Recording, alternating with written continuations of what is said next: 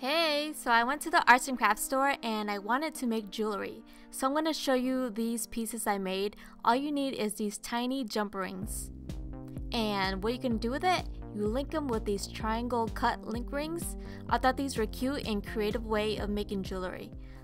So grab a long chain about 24 inches. You can use something that you have and this one had a clasp. I'm using a ruler to measure and pliers with a cutting tool to pull apart my jump rings.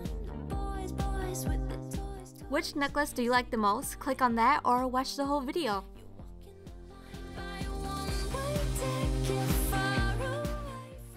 Okay, so I chose these rings because they came with a rigid and smooth side of your choice. You can pick through your design. Lay out the plan first before adding all the clamps. So I'm just putting everything in a row and add it on top. Isn't it pretty?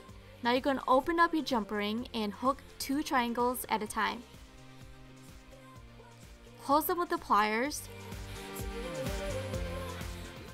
and you will notice there's extra length so you're going to use the side cutters to cut.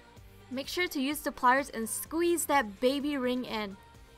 Press down firmly and make sure you do a smooth test. You don't want this to be snagging on your clothes or scratch your skin. Add a second ring to your two triangles. Repeat, close, trim, and squeeze. Boys, boys, Always add two triangles with two rings. Now you will have a row of 7 triangles as your base and next you get to add another level and build up from there.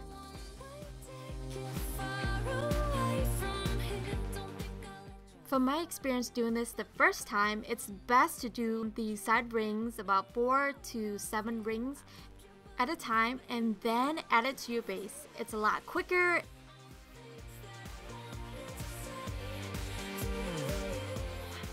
Whip up your measuring tool because now we're going to measure our chain. So for the pair of chains, it's six and a half inches. Trim it, make sure it has a clasp and a large jump ring. These came included, but if you didn't, you can go to the craft store and buy some.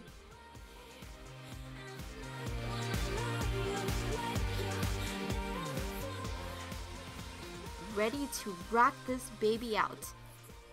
You can wear it with many different styles, if you don't like this look, you can definitely try this other trendy look, the collar. With the same method as the first necklace, you're going to build out your plan with your triangles. Start from the bottom and build up again. Start by building the base, adding two triangles at a time, hook it, bend it, snap it, and close it. With all that hard work, you will get two large triangles and hook it up with a jump ring. This time no trimming because we want movement. It's time to make our double chain links. We will need two pairs of short and long chains. Trim 1.5 inch for the short pair and add jump rings again. Next, add two long chains at 8 inches with jump rings of course. And make sure it has a clasp and a large jump ring. Now we're going to measure 3 inches of the long bottom chain to link up with the short one. Open the short link to make a Y-shaped connection. And we're done. Be inspired. If you do recreate any of these looks, please share your pic on my Facebook page. And thank you for your support and watching this video. A lot more to come and see you guys soon. Bye!